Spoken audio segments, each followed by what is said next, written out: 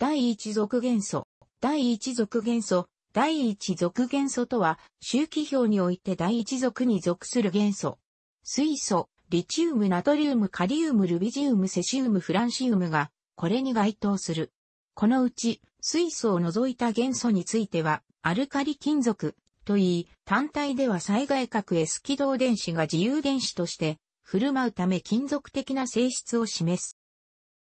周期表の一番左側に位置する元素群で、値電子は最外核の S 軌道にある電子である。S 軌道は1電子のみが占有する。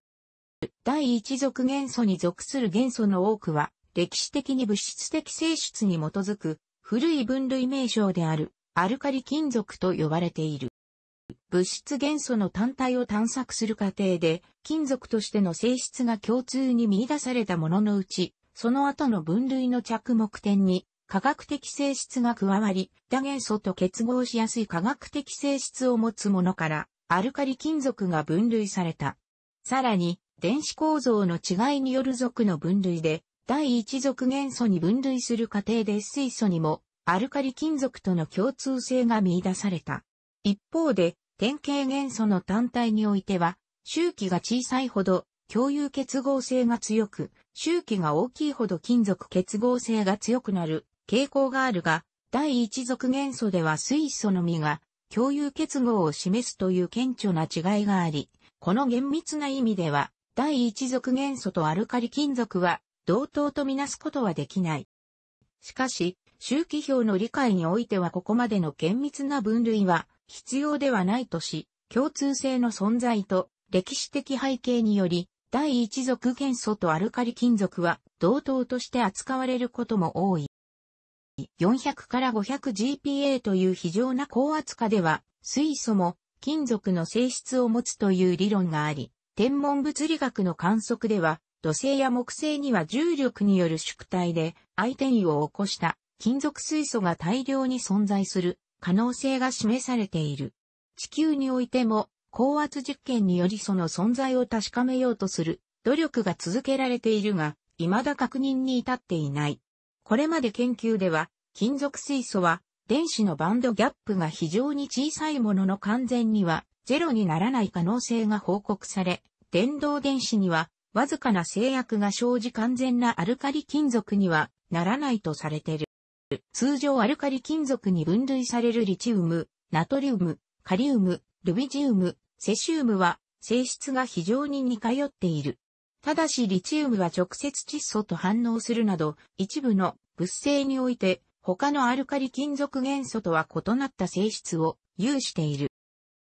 第一族元素に分類されている水素は、他のアルカリ金属元素とは、性質が著しく異なる。この違いは、電子配置の閉角構造の有無に起因する。アルカリ金属元素の場合、一価の非イオンが生成すると、閉角構造の寄与により非常に安定化する。一方、水素の非イオンであるプロトンは、剥き出しの静電化であるため、電子を核から引き離すための4化エネルギーが非常に大きく、閉角構造がなく、安定化の寄与が存在しない。このような S 電子の振る舞いの違いが、水素には共有結合性を与え、アルカリ金属元素には金属性を与えることになる。リチウムとその他のアルカリ金属元素の違いは、リチウムのイオン半径に起因している。リチウムはイオン半径が小さいため、電荷、イオン半径比が他のアルカリ金属元素と比較して著しく大きい。そのため、反応性や化合物の性質において、一価のアルカリ金属イオンよりも、むしろ同様に電荷、イオン半径比の大きい二価のアルカリド類金属元素であるマグネシウムイオンに類似した性質をす。例えば、リチウムはマグネシウムと同様、窒素と直接反応して窒化物を形成するが、他のアルカリ金属元素は窒素に対して反応しない。また、リチウムの硫酸塩は、他のアルカリ金属の硫酸塩が明板を形成するのと対照的に、明板を形成しない。第一族元素は、仕事関数が小さく、原子半径が大きいという特徴がある。以下では、主にアルカリ金属の性質について述べる。水素の性質については、記事水素で詳しく述べる。アルカリ金属は比較的融点も低く、比較的柔らかく軽い金属である。Li、Na、K は比重が1以下で水に浮く。いずれも反応性は高く、周期表の周期が大きくなるほど結晶エネルギー、乖離エンタルピーが低減するため、激しく反応する傾向が見られる。リチウム及びナトリウムの単体金属を得るためには、これらの酸化還元電位が、いずれも非常に低い、釣り非常に還元され、憎いが、溶融時を電気分解することで生産することができる。水溶液だと穂が分解され水素が発生する。カリウム、ルビジウム、セシウムは低融点かつ気化しやすいため単純な電気分解による生産には適しておらず、カリウムは溶融させた塩化カリウムをナトリウム蒸気と反応させることで作られ、ルビジウム及びセシウムは、それぞれの水酸化物を金属マグネシウムや金属カルシウムによって還元させることで得られる。代表的な工業生産法には、溶融した塩化ナトリウムに有点硬化剤として塩化カルシウムを加え、それを電気分解することで金属ナトリウムを得る。ダウンズ法がある。このアルカリ金属元素の強い還元性は他にも有機化学の分野におけるバーチ還元、BRCH リダクションなどに利用される。いずれのアルカリ金属元素単体も水、あるいは空気中の酸素と反応するために、それらを避けるためにミネラルオイルの中に保存される。オイルを拭って放置すると自然発火することもあるので取り扱いは考慮する必要がある。危険物3類。アルカリ金属の反応性の高さは、原子量の大きいものほど高い傾向があるが、窒素との反応に関しては、例外的にリチウムのみが、直接的な反応によって、窒化リチウム、リンを生成する。アルカリ金属元素は、いずれも炎色反応を示す。ナトリウムの発光は、D 線と呼ばれる波長589ナノメートルの単色光であるため、単色光でないと測定ができない線高度を測定するための光源に利用される。この D 線は実際は一本の基線ではなく波長589.592ナノメートルの D 線と波長588.995ナノメートルの D 線の2本に分かれた双子線である。これはナトリウムの災害核電子のスピンが2方向あるためであり、同様の理由によりナトリウム以外のアルカリ金属元素のスペクトルも双子線となる。セシウムのみは冷気に必要な高温を得るために酸水素塩で観察する必要がある。また、フランシウムは放射性元素で天然からは産出されないが、各反応により少量合成され、アルカリ金属としての物性を持つことが確認されている。水やアルコールなど、プロトン溶媒とは水素ガスを発して反応し、生成する水酸化物や金属アルコキシドなどは、強塩基として利用される。そして、アルカリ金属イオンは、ハロゲンイオンなど、種々のアニオンと水溶性の塩を作る。これは、アルカリ金属イオンが強く水和することの寄与が大きい。これらのアルカリ金属塩の溶解性は、アルカリ金属イオンの挙動に強く影響される。例えば、クラウンエーテルやクリプタンドなどは、アルカリ金属イオンと包摂化合物を形成し、塩は有機溶媒に可用となることが知られている。アルカリ金属の単体は低温においてはいずれも耐震立方格子の等軸小系の結晶であるが、常温においてはカリウム、ルビジウム、セシウムはまさかとアキラ系の結晶となる。仕事関数が小さいという特徴を活かして、高電子増媒管の高電面材料には、アルカリ金属を主成分とした合金が利用され、スーパーカミオカンデで使用されたものでは、バイアルカリと呼ばれる SBKCE 合金が用いられている。乾燥条件下において、アルカリ金属を水素気流下で加熱することによって、アルカリ金属は一般式メガヘルツで表されるような一家の水素化物を形成するが、これらは水素化リチウムを除き、不安定であり、加水分解を受けて、元の水素化物に対応する水酸化物と水素に分解する。これらの水素化物は塩化ナトリウム型構造をとる、イオン型水素化物であり、ヒドリド強余体として、塩基や還元剤として利用される。また、水素化ホーソナトリウムや水素化、アルミニウムリチウムなどの三元化合物も形成される。アルカリ金属は一般式 MO で表される酸化物を形成する。空気中の酸素と直接反応するため、アルカリ金属単体の切断面は、直後には金属光沢を示すものの、速やかに酸化物など、一部は水酸化物に覆われて光沢を失う。また、空気中で燃焼させると、リチウムでは主に酸化物を生成するが、主にナトリウムでは一般式 MO で表される金属過酸化物を形成し、カリウム以上の周期の元素の場合は、一般式 MO で表される金属超酸化物を形成することも知られている。これは、イオン半径の大きな非イオンほど、光子エネルギー効果によって、体となる大きな影イオンを安定化させることができ、不安定な過酸化物イオンや超酸化物イオンとでも安定な化合物が形成できるためである。過酸化リチウムを形成するためには、過酸化水素と反応させる必要があり、超酸化ナトリウムを形成するためには高温高圧の条件が必要となる。アルカリ金属元素の超酸化物は、すべ鉄ネジ生体であり、歪んだ塩化ナトリウム型構造をとる。また、アルカリ金属の水酸化物とオゾンとの反応によってオゾン化物が形成される。このオゾン化物の安定性も、また、体となる非イオンの4半径の大きさに比例する。アルカリ金属は電気陰性度が低く、電気的に非常に陽性であるため、酸化物は発熱を伴い水と激しく反応して水酸化物を生成し、過酸化物は激しく加水分解して過酸化水素あるいは酸素を発生させ、超酸化物も水溶液中では次第に分解して酸素を発生する。アルカリ金属に限定しない酸化物の一般的性質については酸素、酸化物それぞれの項目を参照のこと。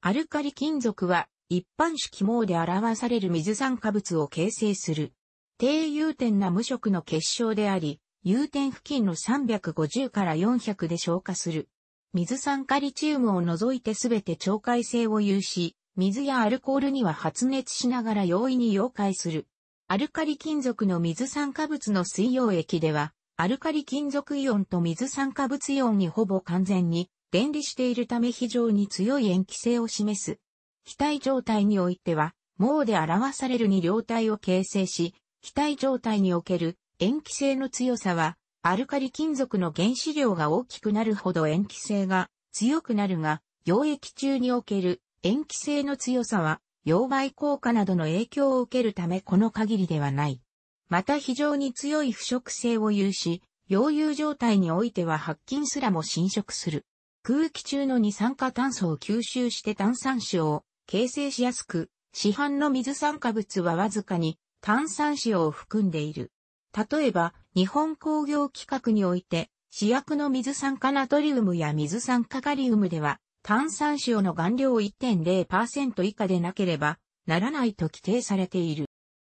アルカリ金属の水酸化物は工業的には対応するアルカリ金属の塩化物の電気分解やアルカリ金属の炭酸塩または硫酸塩とアルカリド類金属の水酸化物とを複分解させることによって得られる。ナトリウム及びカリウムでは、前者の電解法が、ルビジウム及びセシウムでは、後者の複分解法が主に用いられている。アルカリ金属の水酸化物の中でも、水酸化ナトリウムは安価なアルカリ年他な用途に用いられる工業的に非常に重要な物質であり、日本において2010年度で年間90万2178トンもの量が消費されている。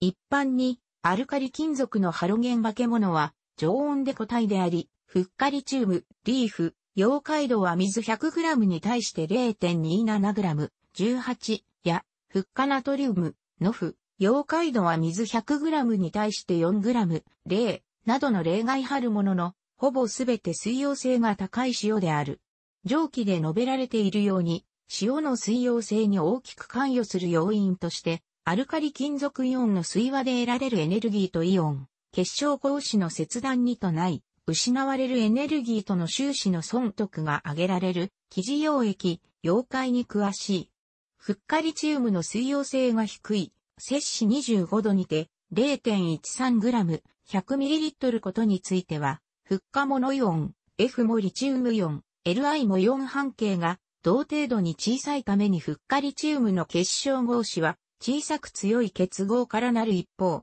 フッカリチウムの結晶が溶解して、イオンが水和を受ける、際の水和エネルギーは大きいものの格子エネルギーを打ち消すほどではないことによる。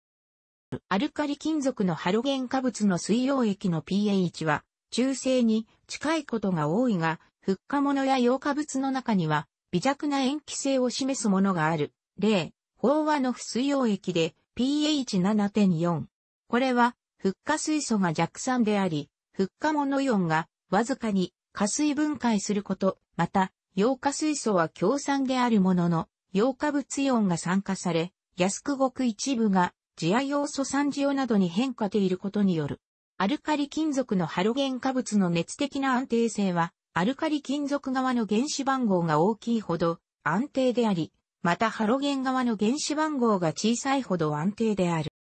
一連のハロゲン化物の中で地球上に最も広く存在するものが塩化ナトリウム、NaCl である。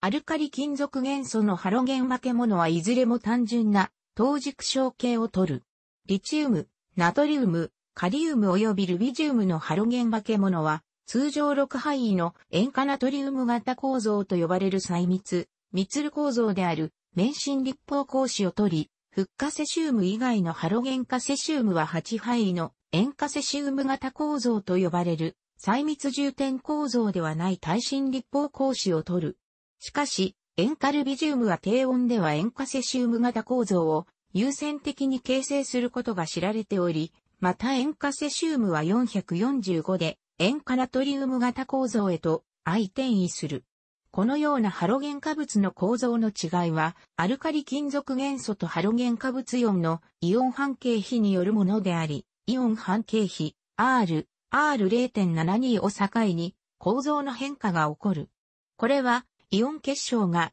配数の多さ及び比、イオンと影イオン同士の充填率の高さによって安定化する性質に由来しており、交代球筋時による理論計算から、非イオンと影イオンの4半径比が小さい、非イオンの4半径が小さいと少ない配数で密に詰まる方が安定であり、非イオンと影イオンの4半径比が大きい、非イオンの4半径が大きいと多い配数で、細密重点を取らない方が安定となるためである。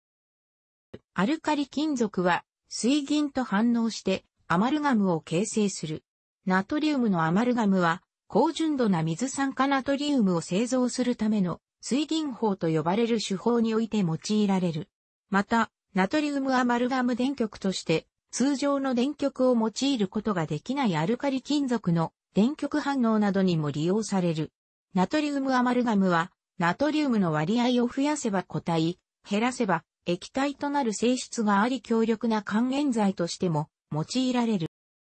リチウム以外のアルカリ金属元素は、溶融させることで、それぞれ任意の割合で混合して、合金を与えるが、リチウムはナトリウムとは380以上の条件で合金を作ることができるものの、それ以外のアルカリ金属元素とは合金を作ることができない。アルカリ金属同士の合金で重要なものは、ナトリウムカリウム合金であり、カリウム含有率77.2%のもので、融点がマイナス12.3と、常温で液体な低融点合金である。その高い比熱によって、各反応における熱媒体としての利用が検討されていたが、より安全な溶融ナトリウムへと移りこの用途では、現在いられていない。また、モル濃度で41%のセシウム、47%のカリウム、12%のナトリウムからなる合金は、すべての合金の中で最低の融点78を持つ。楽しくご覧になりましたら、購読と良いです。クリックしてください。